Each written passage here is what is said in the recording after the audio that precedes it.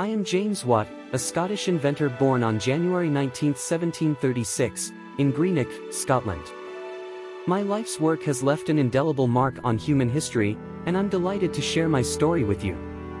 My pioneering contributions to the field of steam engines revolutionized industries. In 1765, I designed an improved steam engine with a separate condenser, a crucial innovation that made steam engines far more efficient.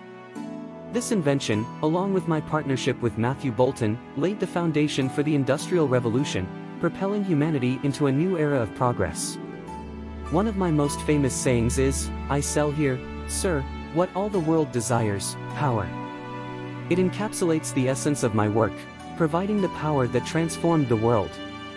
Join me on this journey to explore the life and innovations of James Watt, a visionary who powered the Industrial Revolution and changed the course of history.